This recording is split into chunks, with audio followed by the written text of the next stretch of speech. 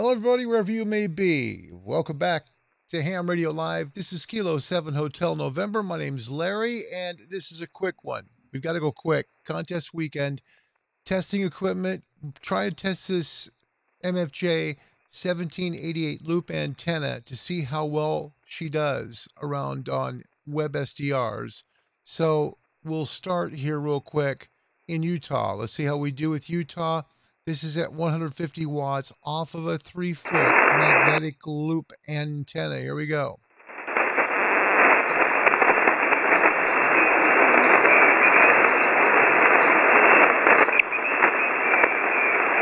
Keep in mind, I'm just basically testing. So I'm basically saying this is a test from Kilo 7 Hotel November. This SDR is about 675 miles away.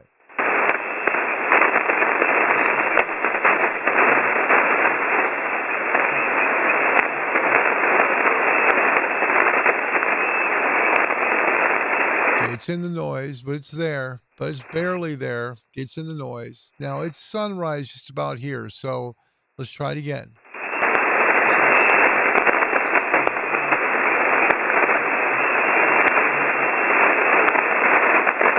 All right, that's antenna three. That's using the the, the rig cam essentially. We're using the uh, one that we're using here, uh, the um, MFJ 1788. Okay, so that is that one. Let's try this one.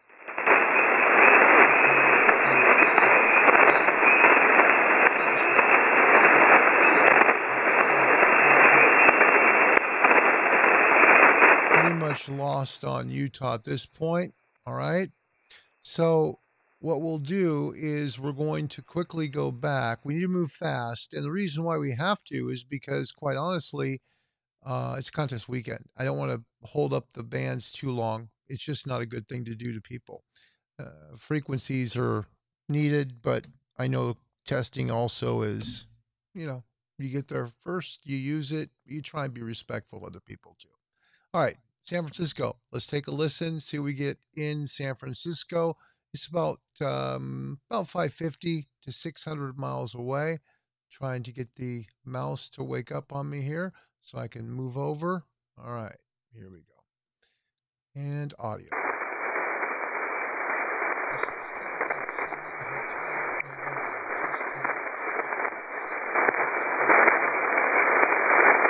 Okay, now this is interesting. This is no nothing in San Francisco picking up. So this is out of the skip zone, and I'll explain what I mean here. We're at 7200. We're going to move now to Maui. Okay, this is 2,400 miles away.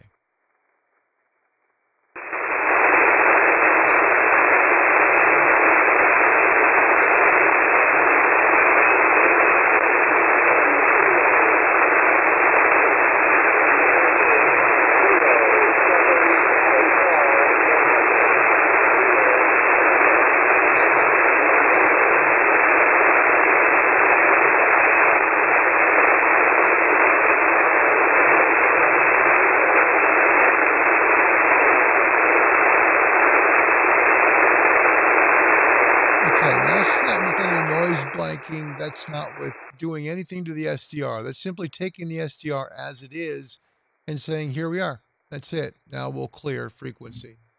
Kilo 7 Hotel November test complete, returning frequency to everybody else. Thank you very much, All right. So, what does that tell us? Well, tells us on this night and this night that um, this little three foot loop does pretty well. Okay. Out of the skip zone in San Francisco. So for new hams, what that essentially means is that you're you're kind of bumped up. So if San Francisco is here, the skip zone goes up here and comes back down. San Francisco's in the shadow, won't pick it up. Now in Maui, it is picking it up. All right it's picking it up right at the edge. Now, again, keep in mind, this is, um, excuse me, this is literally a three foot aluminum loop that's 22 feet high, horizontally mounted. Okay. So that is a definite tunable signal in Maui. And considering 2,200 miles over ocean, which is helpful, no doubt about that. But we do have conditions that are a little bit rough this morning. And to be quite honest, I'll take that. It's 150 watts out of a tunable magnetic loop. Now you could barely hear, I know, the call sign. I kept trying to repeat the call sign on the Maui SDR just to allow people the opportunity to try and pick it up out of the mud. And it's barely readable, but it's there. So, what does this tell us?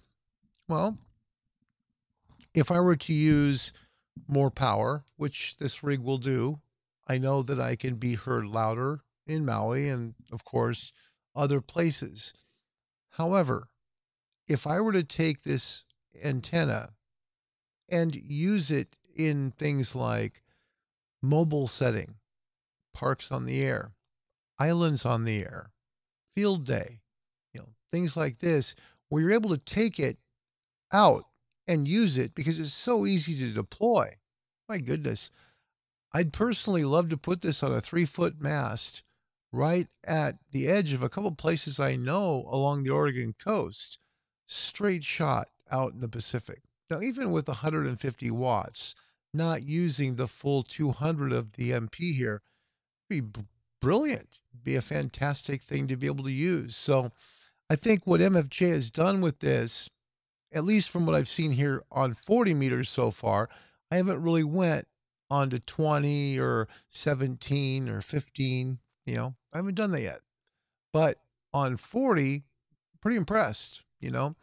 Um, Want to make a couple of quick little changes here. Um, the the previous video where we did get two QSOs. One of them was from a friend of mine whose name is Ron. His call sign is K9RM. Uh, K9RM. He's located out of Indiana. I said Ohio. So please forgive me for that. It's late and I'm tired. Okay. So forgive me. He's out of Indiana, but that's still over 2,000 miles away over land. And he heard the signal, which is cool. And then the second one, which was one of those ones you kind of hate to make the mistake on because, you know, I was kind of being a little bit dyslexic on the call. Okay. To be quite honest. And, and he was very clear on it. He was not, you know, giving me a problem with it. He was clear, you know, you definitely tell. Dennis Vernachia, who is out of the San Diego Contest Club down in San Diego, that is about a thousand miles away south, and he was hearing quite well. And keep in mind, he's beaming Asia, so he's beaming west, and he picked us up from the north. Pretty cool from what it sounds like, their antenna system is about on top of a 900 foot hill.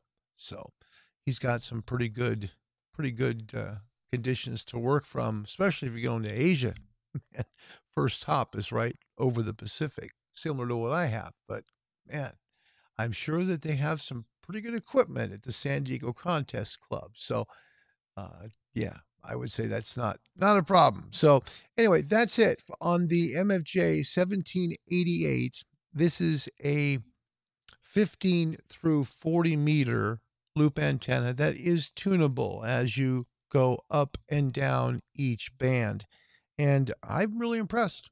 I really am for what they were able to accomplish here and the fact that I know I can hear it. You know, it can be heard 2,000 miles away to the west and 2,000 miles away to the east.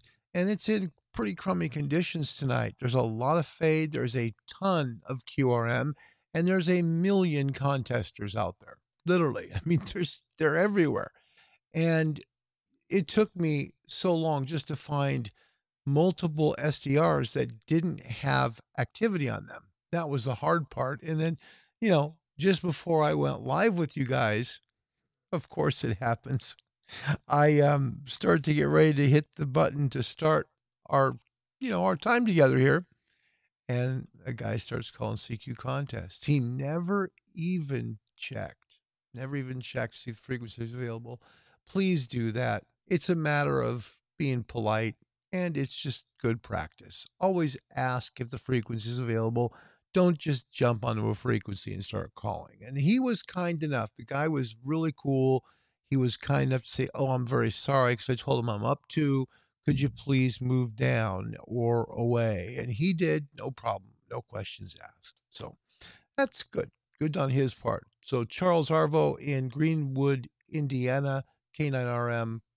Charles, thanks again. He was the guy that picked us up on the Worked All States net over on 7190. So, Charles, thank you. Again, the MFJ 1788, it will do 15 through 40. I've more tests to do. I'd like to do a video on switching bands. I'd like to see how long it's going to take and time it between, say, moving from one extreme to the other. So, moving from 15 to 40. I'd like to see how long that takes because some people that might want to use this might want to know that. Be interesting to find that out. Okay.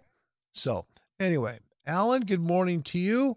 Thank you for joining us today. Alan, where are you watching from, by the way? Let's get you involved in the conversation before we say goodbye to everybody. We uh, appreciate you coming. Thank you for being here today. Um, this doesn't work without a lot of people. And truly, I want to thank the people of MFJ who have been very helpful for these tests. I do believe in the power of a magnetic loop because I've used them for four decades and I know the power of a mag loop. They just work. So, if you want to improve the performance of your station, buy a loop. Even if you just buy a receive, you know, you buy, like, say, for example, the MFJ 1886 receive only loop, it's perfect. Just a perfect antenna. Alan, very good. Alpha Bravo 8, Alpha Sierra, Huntington, West, West Virginia. Alan, welcome to the show. We're glad to have you here, my friend. How are things? Are you doing the contest, Al? Are you doing any contests this weekend? I know Colorado QSO's on, and on our end, we're getting a ton of traffic going west, especially people who are Midwest, you know, and people going from west. So basically, the almost the Mississippi River line headed west are all beaming west. So it's crazy. It's just crazy. You doing any contesting this weekend? I'm just trying to find an open spot at this point, and you know, transmitting really narrow, so I can just fit in between if I can. So anyway, Al, it's good to good to see you. Love to work with you. That'd be a lot of fun. This is a tough time to do that right now with all the people who are on the frequencies, but certainly would like to do that. No contesting for Alan this weekend. Well, let's get together and try and work out a QSO together. I know I would really like that a lot. Okay. So, Alan, I'm going to go because it's 4:49 a.m. and this person hasn't slept yet. I just have had a lot of fun with the antenna overnight it's been a good review, good antenna so far. So we'll look forward to checking the other the other bands. Alan, thanks for dropping by. For all of you, thanks for being here. We'll see you soon. That's Maui to Ohio. I'm sorry, Indiana. So Indiana to Maui to uh, Hawaii. That's it. Okay. See you guys later. Thumbs up from Alan. Thumbs up from Larry. Kilo 7 Hotel November. You guys have a great day. God bless you. Thanks for watching North America Radio Guide, now known as Ham Radio Live, because it is. See you guys. Bye.